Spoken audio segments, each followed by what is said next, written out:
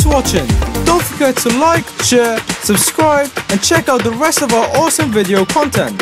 Learn more on how to download and use our green screen footage on our channel.